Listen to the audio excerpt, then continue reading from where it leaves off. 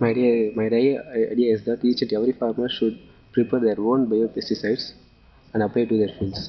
So this will definitely come down, bring down the company products and the sales of pesticides, which is uh, nowadays pesticides are very harmful to the soil health and, and to the human populations. One more thing is uh, the basic idea of basic theme of biopesticide is the homemade biopesticide is bacteriophages. Bacteriophages are nothing but viruses which can infect bacteria. This bacteriophages uh, presents everywhere. When there is a bacteria, definitely there will be a virus. So when we are culturing a bacteria, it means we are also culturing the virus along with it. So this is a basic thing. So How uh, did you bump on this idea? so basically I'm a biology student. So I know this concept.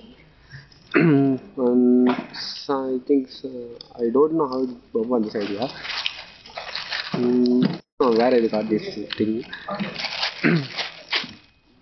How do you see a market potential or what could be the cost, uh, what could be the major challenge you see for this being adapted uh, to each and every farmers? How do you think like this can be given to the villages? propagating this or dissemination of this thing is a very big challenge for this because uh, no people will come to uh, test a thing new thing. Especially farmers because they are investing too much of money into their fields. Is that is their life stream. So that's really the main obstacle for this.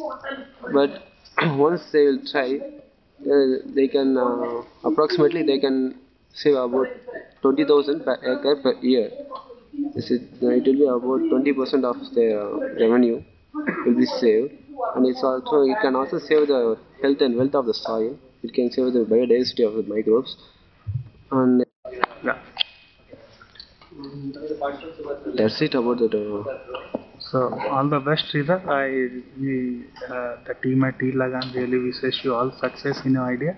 How do you want to take it forward? Like, sir you want to go into manufacturing yourself and then do the marketing, or how, how's the no, plan? sir. So, as the topic is also homemade biopesticide. Okay. So the theme is that every farmer should prepare his own biopesticide using his own uh, leaves, diseased leaves.